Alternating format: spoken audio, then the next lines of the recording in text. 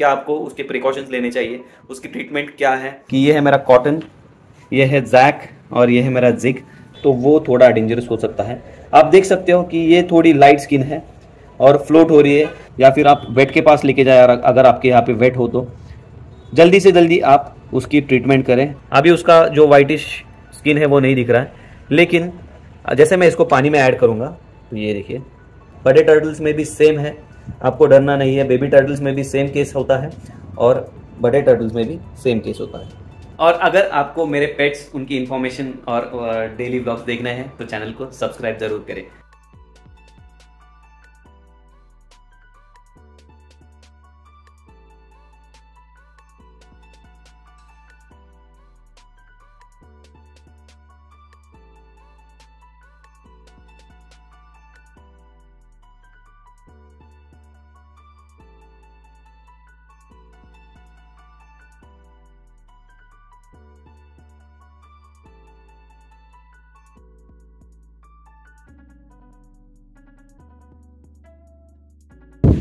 क्या आपके टर्टल में इस तरह का प्रॉब्लम है?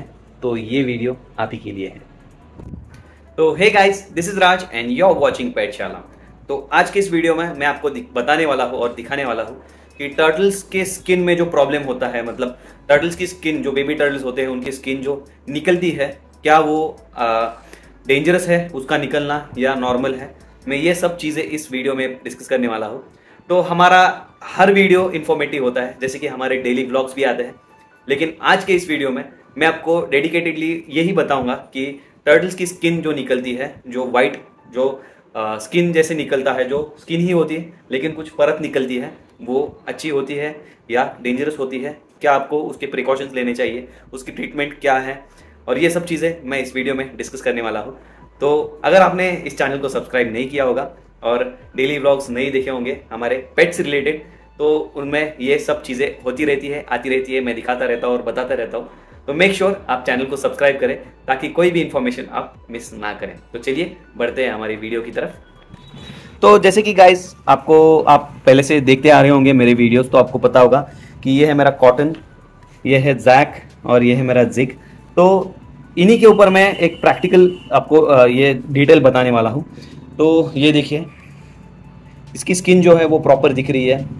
इसकी स्क्रीन स्किन प्रॉपर दिख रही है, लेकिन इसकी स्किन देखिए, ये थोड़ी निकली हुई है और इसमें से कुछ वाइट निकला हुआ है। ये देखिए, कुछ वाइट दिख रहा है आपको? वो निकला हुआ है। तो वो चीज़ क्या है? वो अच्छी है आपके टर्टल के लिए या बुरी है? तो मैं कहूँगा कि दोनों डिपेंड करता है कि वो किस टाइप का है। अगर इस टाइप का होगा, आ जाओ। अगर इस टाइप का होगा, उसका स्किन निकला हुआ तो अच्छी बात है, क्योंकि ये एक साइन होता है कि आपका टर्टल जो है, वो ग्रो कर रहा है। और अगर वाइटिश जैसे आता है, जैसे कॉटन होता है कॉटन के ऊपर, ये वाला कॉटन नहीं, ये हमारा कॉटन है, ये वाला कॉटन नहीं। कॉटन जैसे कुछ सॉफ्ट सॉफ्ट आपको दिखता है उनके स्किन के ऊपर तो वो थोड़ा डेंजरस हो सकता है। आप देख सकते हो कि ये थोड़ी लाइट स्किन है और फ्लोट हो रही है।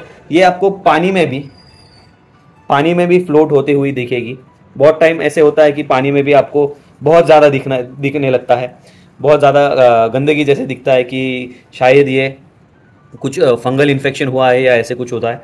तो ऐसे नहीं है। अगर ऐसी स्किन लटकती हुई दिख रही होगी, वापस मैं आपको दिखाता हूँ। ये देखिए। उसके गर्दन के यहाँ पे, उसके पैरों के यहाँ पे, अभी तो फ़िलहाल गर्दन के यहाँ पे है।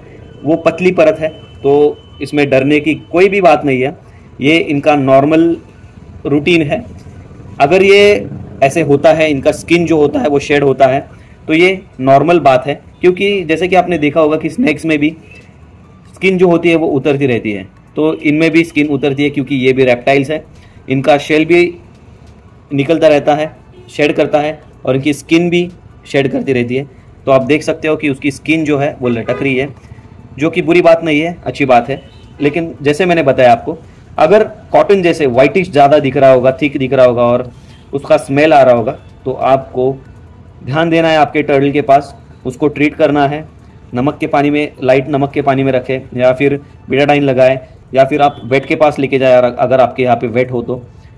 जल्दी से जल्दी आप उसकी ट्रीटमेंट करें, ताकि आपका टर्टल जो है, वो ठीक हो जाए। तो ये अच्छी साइन है ग्रोथ की, जैसे मैं बता रहा था आपको, कि ये साइन जो है, वो अच्छी है, उनकी ग्रोथ हो रही है। ये उसकी साइन होती है। जैसे जैसे उनकी ग्रोथ होती है, उनकी स्किन और शेल जो होता है, वो शेड होता रहता है, जैसे कि सांपों में होता है। जैसे टेरेंट्यूला में वो पूरी बॉडी जो एक्सोस्केलेटन है, वो निकालते हैं।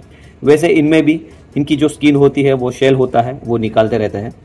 तो आपको कुछ नहीं करना है ये इजीली खुद ब खुद निकल जाएगा। आपको उसको निकालते नहीं रहना है। अगर मैं इसको पानी के बाहर भी निकालूँगा, मैं आपको दिखाता हूँ, इसको पानी के बाहर भी निकालूँगा तो मुझे समझ में नहीं आएगा कि इसकी स्किन शेड हो रही है। लेकिन जैसे ये पानी में जाएगा, ये फ्लोट होती है और आपको लगता है कि ये कोई बीमारी है, लेकिन ये बीमारी नहीं होती। मैं आपको दिखा देता हूँ। अगर आप पानी के बाहर निकालोगे और आपके टर्टल की स्किन जो है, वो फिर भी दिख रही है वाइटिश दिख रही है तो ये देखिए फोकस फोकस फोकस फोकस देखिए, अभी अभी नहीं दिख रहा है। देखिए, अभी उसका जो वाइटिश स्किन है, वो नहीं दिख रहा है। लेकिन, जैसे मैं इसको पानी में ऐड करूँगा तो ये देखिए। दिखने लगा। ये देखिए। इसकी स्किन जो है वो लटकती हुई दिख रही है। तो ये नॉर्मल है, मेरा हाथ भी उसके आर पार दिख रहा है।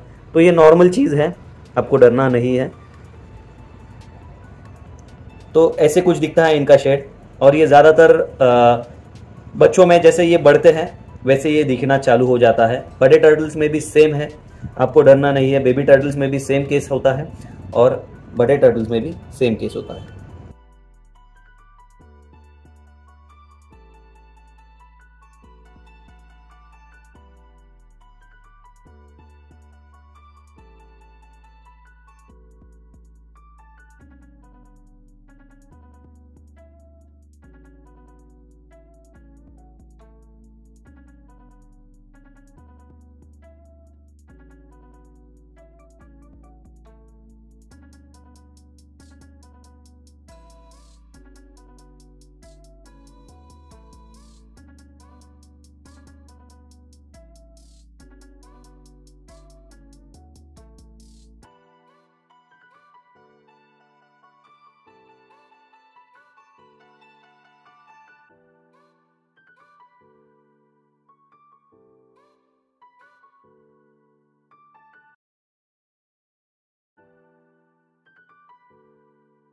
तो आई होप आपको ये वीडियो पसंद आया होगा और इस वीडियो से कुछ ना कुछ सीखने को मिला होगा।